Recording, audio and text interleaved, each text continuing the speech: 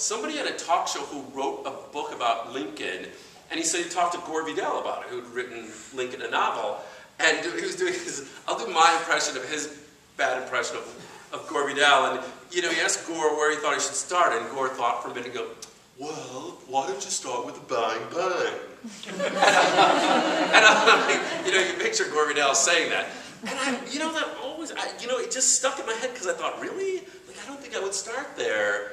But I, you know, I've been, for years I've been twisting this over in my head and wondering, you know, I was here, you know, Gore says I should start here, you know, and I didn't. But, um, but I think there's a reason for that. With Lincoln, we've all met Lincoln in a, in a sense. You know, we know what he's all about. We also know who John Wilkes Booth is. We're already introduced to these characters. So you don't need that lead up. It's already in us. Um, and you can start right to the action.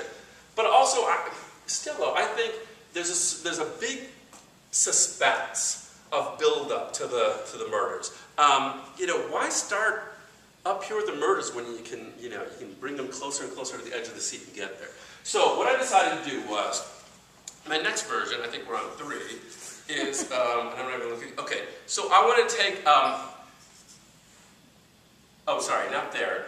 I want to take the last 50 pages of the before story and move that to here and start it there. So I wanted to start with just the last weekend, and I figured out also with Columbine, as I figured this out, I was thinking in theoretical terms, but also in terms of my material.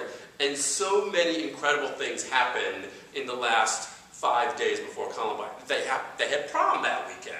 Um, you know, there was this amazing scene that I started with, with Mr. D addressing the whole student body on Friday morning. I'm like, thank you for timing that, you know, four days or whatever it is, you know, before my cataclysm.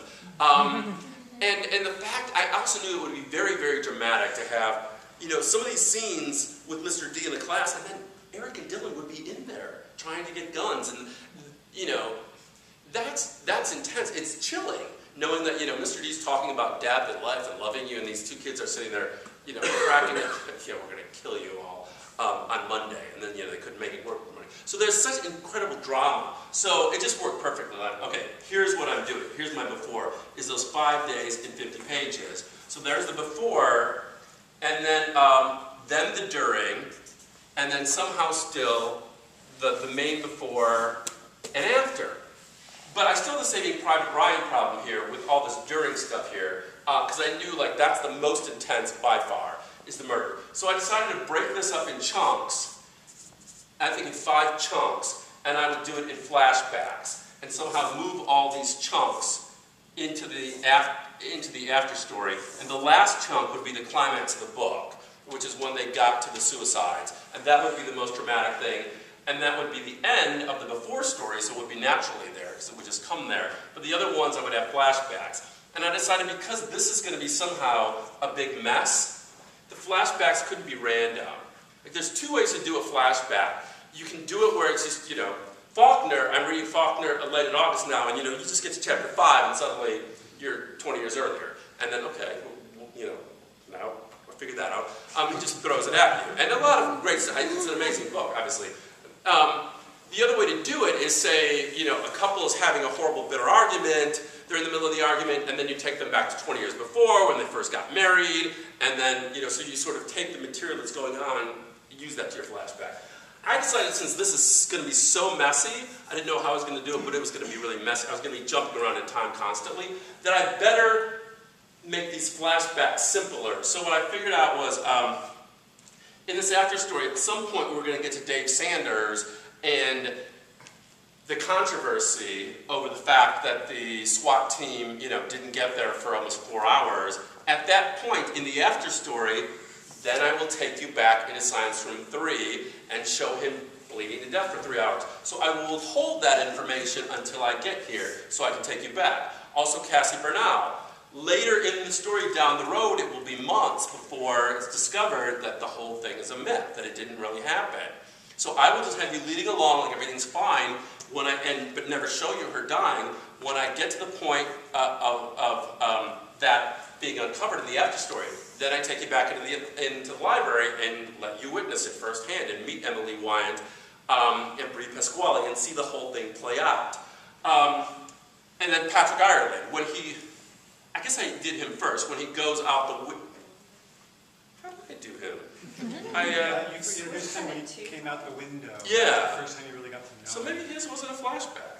Maybe that was still, I guess that was still during it. Hmm. Maybe I didn't have that many flashbacks.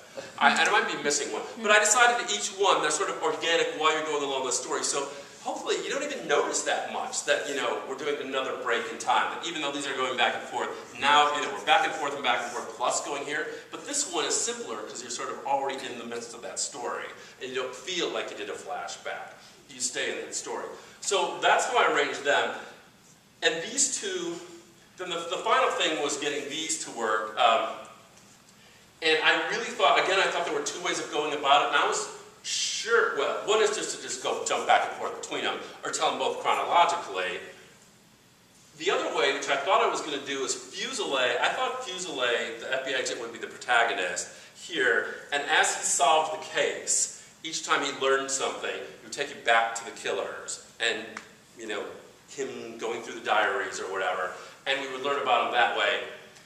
But that didn't work for so many reasons. I couldn't get over the corniness of like, how am I going to do like, oh, he's reading the journal and now I take you back there. But I could see doing that in a movie or even a radio, but I couldn't really figure out how to do that in a book. But the other reason, I mean, there were like several reasons where it just wasn't working. One was I felt like, you know, keeping a fragmented version of Eric and Dylan's life, and you'll never get the sense of them developing and the suspense of them like, you know, now Eric's like a sophomore and he's already starting to cause trouble and like something's definitely wrong with this kid. Or in freshman year, you start to feel like he's already writing essays like difference, differences between Zeus and I, which he gets grammatically incorrect. I love that he got the title wrong. But um, when he's like saying how arrogant he is. But anyway, you're starting to see flashes of his like ego, egomania when he's a freshman in high school. So that gradual build, you lose that if you don't do it chronologically.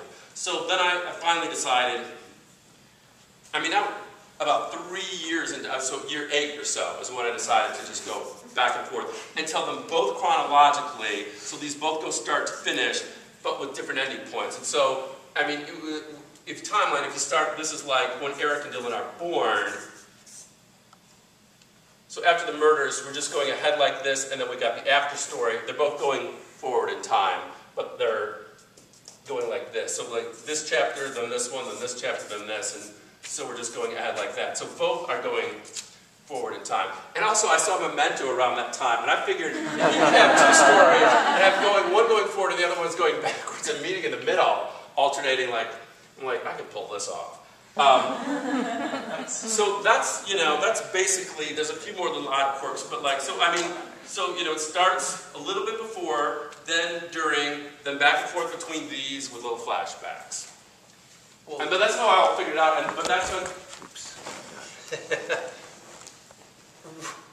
like two days before it went to copy editing. So this is year like more like year nine and a quarter is when I finally did the final version of alternating the chapters completely. Believe it or not, I wasn't alternating the chapters at the beginning until that flash had gone through everything, through my editor and his assistant, all the rounds until I realized that um, I wasn't, I wasn't alternating the first chapters. Okay, so what I, uh, I guess I should say. In the beginning, I thought, I still, at the very end, I started alternating the chapters on page about 100 or 110. And I knew that was a problem.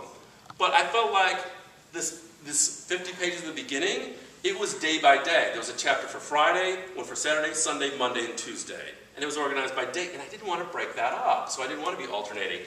And then suddenly, and no one figured this out, in this flash right before it went to copy editing, I realized, oh, all I have to do is take each of those days and cut the chapters in half.